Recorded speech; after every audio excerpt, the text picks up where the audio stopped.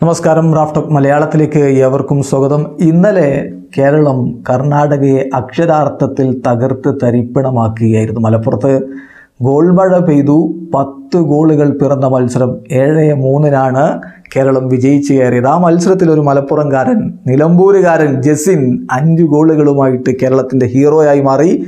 അദ്ദേഹം ആദ്യ ഇലവനിൽ ഉണ്ടായിരുന്നില്ല. സബ്സ്റ്റിറ്റ്യൂട്ട് റോളിൽ മുപ്പതാമത്തെ മിനിറ്റിലാണ് കളിക്കളത്തിലേക്ക് വന്നത്. പിന്നീട് മുപ്പത്തി അഞ്ച് നാൽപ്പത്തി മൂന്ന് നാൽപ്പത്തി നാല് മിനിറ്റുകളിൽ ആദ്യ പകുതിയിൽ ഗോൾ അടിക്കുന്നു അതായത് ഇറങ്ങി പതിനഞ്ച് മിനിറ്റ് തികയുന്നതിന് മുമ്പ് ഹാട്രിക് അങ്ങ് തികക്കുന്നു. രണ്ടാം പകുതിയിൽ പിന്നീട് അൻപത്തി ആറ് എഴുപത്തി അഞ്ച് മിനിറ്റുകളിൽ കൂടി ജസിൻ ആ, മൂന്നിനെതിരെ ഏഴ് ഗോളുകളുടെ തകർപ്പൻ വിജയത്തിലേക്ക് കേരളം കടന്നു പോവുകയും ചെയ്തു. മത്സരത്തിലെ ഈ ഒരു പ്രകടനത്തെക്കുറിച്ച് പിന്നീട് അദ്ദേഹം ചില കാര്യങ്ങൾ പറയുകയുണ്ടായി. വലിയ സന്തോഷത്തിലാണ് അദ്ദേഹം എന്ന കാര്യത്തിൽ സംശയമില്ല. പ്രത്യേകിച്ച് ഒരു ഗോളിന് കേരളം പുറകിൽ നിൽക്കുന്ന സമയത്താണ് കോച്ച് ബിനോ ജോർജ് അദ്ദേഹത്തെ കളിക്കളത്തിലേക്ക് വിടുന്നത്. തനിക്ക് ലഭിച്ച അവസരം വളരെ മികച്ച രൂപത്തിൽ ഉപയോഗപ്പെടുത്തുകയും ചെയ്തു ജസിൻ എന്നുള്ളത് എടുത്തു പറയണം. അദ്ദേഹത്തിന്റെ നാട്ടിൽ നാട്ടുകാരുടെ മുന്നിൽ വെച്ച് മലപ്പുറക്കാരുടെ മുന്നിൽ വെച്ച് തന്നെ ഈ പ്രകടനം നടത്താൻ കഴിഞ്ഞു.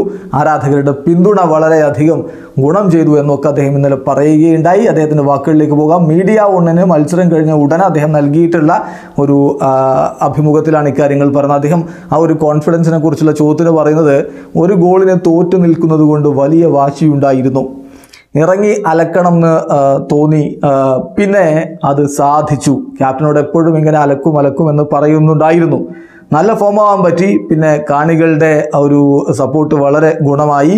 ഫസ്റ്റ് ചാൻസ് തന്നെ ഗോളടിച്ചു പിന്നെ അടിക്കുമെന്ന വിശ്വാസം ഉണ്ടായിരുന്നു എന്നൊക്കെയാണ് അദ്ദേഹം പറയുന്നത്. അദ്ദേഹം പക്കാ മലപ്പുറം സ്ലാങ്ങിലാണ് ഇക്കാര്യങ്ങൾ പറയുന്നത്. അത് അതേ വാക്കുകളിൽ കേൾക്കുമ്പോഴാണ് അതിന്റെ ഒരു ഭംഗി ഉണ്ടാവുക ആ, നമുക്ക് പക്ഷേ കോപ്പിറൈറ്റ് ഇഷ്യൂ ഉള്ളതുകൊണ്ട് വീഡിയോ ഇവിടെ ചേർക്കാൻ കഴിയില്ല. എങ്കിലും അദ്ദേഹം മീഡിയ വണ്ണിനോട് സംസാരിച്ച വാക്കുകൾ നിങ്ങൾക്ക് കൂടി കേൾക്കാൻ വേണ്ടി നമ്മുടെ ഡിസ്ക്രിപ്ഷൻ ബോക്സിൽ അതിന്റെ ലിങ്ക് കൊടുക്കുന്നുണ്ട്. വീഡിയോ അവസാനിക്കുന്നു. ഫുട്ബോൾ ലോകത്തെ കൂടുതൽ വിശേഷങ്ങളുമായി റാഫ്റ്റോക്സ് വീണ്ടും എത്താം.